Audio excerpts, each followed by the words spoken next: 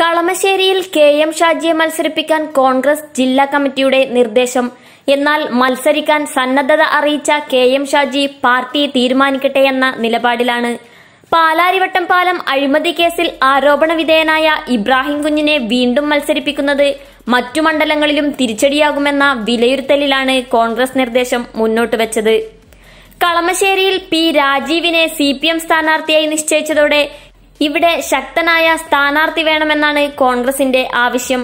ഇബ്രാഹിം കുഞ്ഞിനെയും പകരം നിർദ്ദേശിച്ച മകനെയും സ്ഥാനാർത്ഥിയാക്കരുതെന്ന് ലീഗ് ജില്ലാ കമ്മിറ്റിയും സംസ്ഥാന നേതൃത്വത്തോട് ആവശ്യപ്പെട്ടിട്ടുണ്ട്. കളമശ്ശേരിയിലെ സ്ഥാനാർത്ഥിത്വം കീറാമുട്ടിയായി നിലനിൽക്കുന്ന സാഹചര്യത്തിൽ കൂടിയാണ് കെ എം ഷാജിയെ കോൺഗ്രസ് മണ്ഡലത്തിലേക്ക് നിർദ്ദേശിക്കുന്നത്. മുസ്ലിം ലീഗ് സംസ്ഥാന നേതൃത്വത്തെ ഇക്കാര്യം അറിയിച്ചിട്ടുണ്ട്. ഷാജിയുമായി ജില്ലയിലെ കോൺഗ്രസ് നേതാക്കൾ ആശയവിനിമയം നടത്തിയിട്ടുണ്ട്. ഷാജി സമ്മതം അറിയിച്ചതായാണ് വിവരം